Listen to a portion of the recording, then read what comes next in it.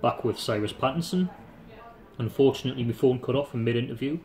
Fantastic use of technology. This is why I'm looking for sponsors, everyone.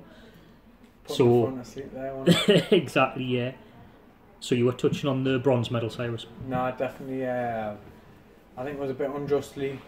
Uh, fought Poland and Hungary in the previous round to get a secure medal, and I fought Hungary again, number one representative, in a semi-final, and and uh, I'd never ever use the term robbed, but in my eyes, I won the won the fight, and I got beat on a two-one split, and the whole place was an uproar. I had coaches from from everywhere.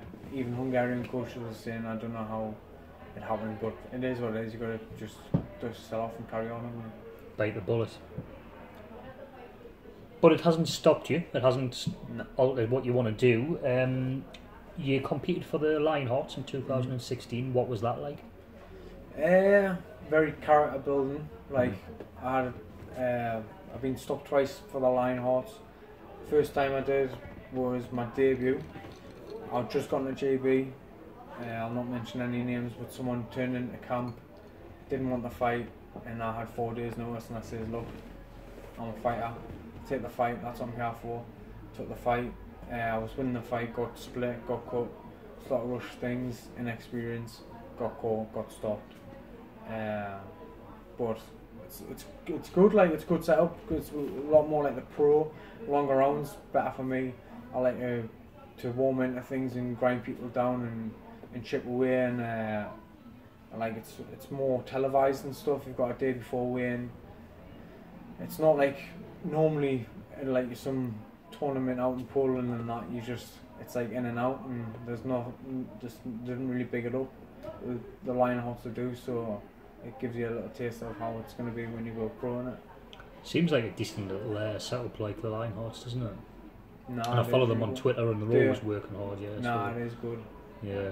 Because they really just draft them in from GB Boxing, so it's just GB Boxing, but we'll get a few uh, overseas fighters. Uh, but nah, it's a good setup. So the next step for you will be you're focusing on Tokyo in 2020 at the moment. Um, obviously, we know in your division at the GB setup, you've got a very tough kind of stablemate in um, in Pat McCormick. Would you would you be fair to say that Pat's just kind of that nudge ahead of you at the moment? No, of course, like he's uh, been on GB a lot more, a lot longer than me, and he's a club mate as well. We're both boxed for Birtley. Um, he done a lot more as a like a youth and a, like a junior. Uh, there's not really much more to say. Like so, he's a lot more experienced than me. He got the nod to go to the Commonwealths. It was mainly him competing. He went to the Commonwealths, won the Commonwealths. I didn't even go to the Commonwealths and I was still rated number two in the Commonwealth. So that speaks for itself.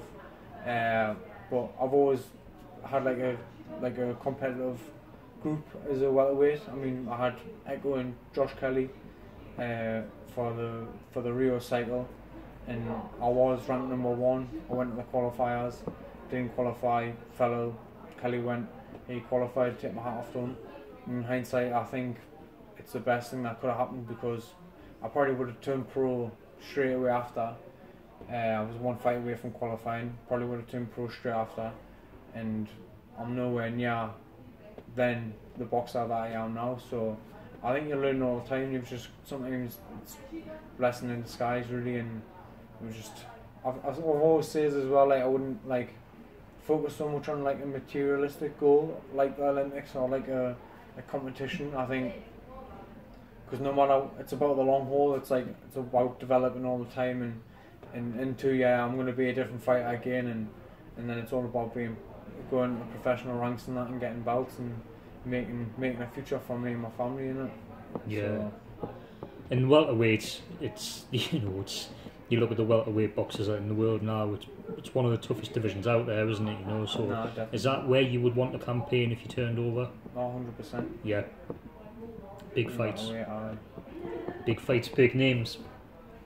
So for just for obviously the the Olympic process, I mean, um, you know, like you're still in, you're still there, and you're still in with a, a great shout. I feel there, but how does the kind of selection process works?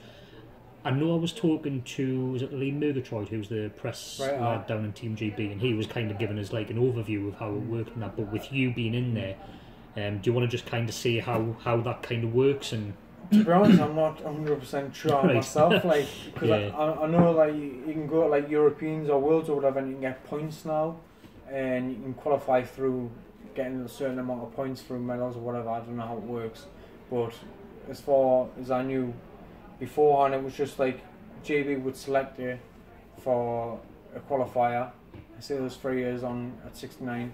Say you're performing the best at the minute, or you're training the hardest, or whatever. They send you a qualifier, and then the top three or top five of that qualifier qualify. If you don't, they say the thing they pick again who who they think deserve to go or who's fit, or and then if you qualify, that's how you qualify. And but now they've got like a, a point scoring system as well, which makes makes it better for the the top, like the elite, the world class, so they qualify and they don't need, need to go to like the qualifiers for it. But it's so elaborate some of the things isn't it in boxing? And I keep trying to explain this to people who who aren't in it. Or don't know much about it and I say it's sometimes better off just not asking us because Nah. I can't I can't explain some of the things. Like even just the governing bodies that we were talking about before I, They- I they're can't making, explain it to uh, people They're making new rules all the time, man. They're just chop and change. I think they're getting rid of 49 and 60 kilo weight classes oh yeah as well yeah to bring in women's weight classes. But that's just another crazy thing because I think, like, why not just add two weight classes on for the women? Why don't, like, because from 50, I, I think they're changing 56 to 57 and 64 to 63, but still a massive jump. And, like, I know lads that kill themselves to get 60 and, like, they had, like, a massive advantage, but now it's been taken away, or it's just, it's just crazy, isn't it? it is it's difficult and like I say it is difficult to try and explain to outsiders but it's just better off just not getting involved in the politics of it and just Nah, watching the fight isn't nah, it definitely. So with the northeast boxing scene at the minute, um, obviously I've got to I've got to mention uh, Steve Wraith because I this is the reason I'm in this position at the moment. Cyrus has given me this opportunity. Um, Phil Jeffries is working alongside Phil Jeffries, who they've formed Yeah, Pro Box Northeast now. They're putting on all the shows up in Newcastle, and obviously um, we've seen the success and the recent matchroom card of um, Lewis Ritson and you know uh, like lads like Glenn Foot, Tommy Ward, Josh Kelly, who you mentioned before. Do you think it's the prime time now for Northeast boxing? Uh, I think it's coming in a lot more now than it ever has been for a lot of years, and I think it's going to get even better and grow stronger. There's a lot of talent in the northeast. Uh, I mean, Birtley have got six lads on GB squad uh, now, so that's that speaks for itself as well. Uh, and again, two year after this Olympic cycle, I think a lot of us will turn pro and we'll probably just be filling out shows just for northeast lads. Do you know what I mean? So it's an exciting time for boxing. It is, yeah, and it's there's a lot more interest in it around the region now than what there has been for quite some time, isn't 100%, there? That's good. It's Yeah. good. I think it would be criminal not to mention uh, one of the lads who are trained with Jordan Minchell, um, another tricky southpaw. Can you remember sparring him, or I think you did you compete against each Yeah, other, or what was Jordan like? Because we we see him in the gym, and he says he's not the not the boxer that he was, but he's still showing flashes of absolute genius. What I'm watching sometimes, and I'm thinking, how the how the hell have you blocked that and countered that? And but he says he's not anywhere near what he used to be. So what was he like? What was Jordan like? Nah, like uh, I fought him a lot of years ago. It was uh, I think it was in the CYPs as a youth or a junior, and uh, but it's hard hard to say when you're a junior and.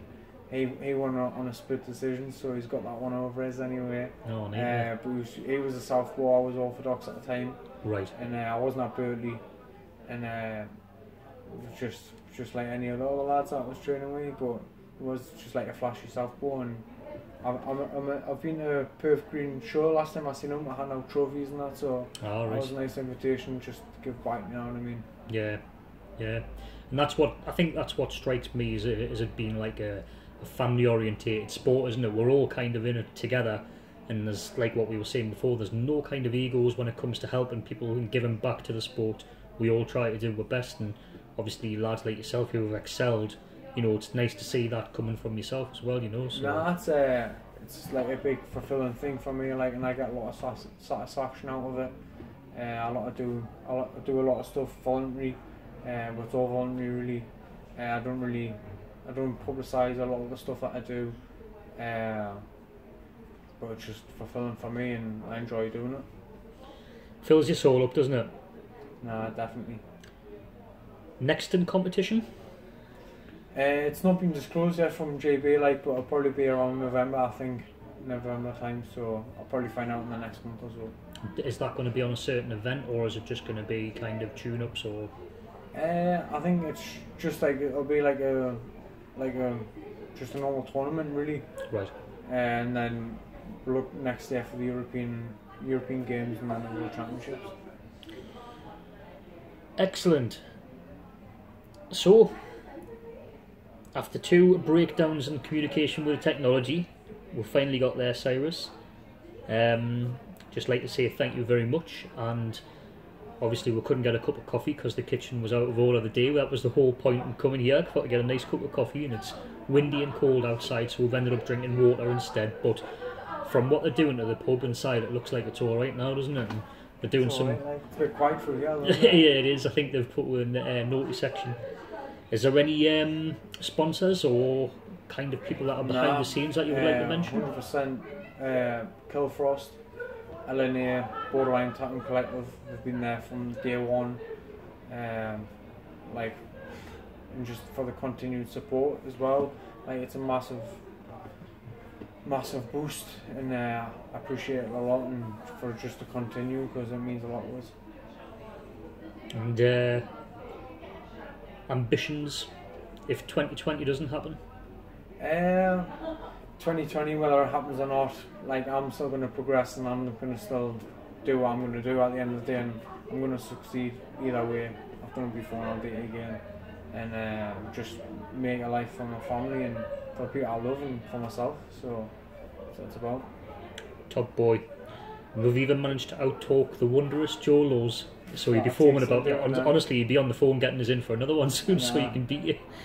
Well, thank you very much on behalf, on behalf of Boxing Viper Media. Um, it's been a pleasure to meet you and hopefully catch up again soon. No, thank you very much.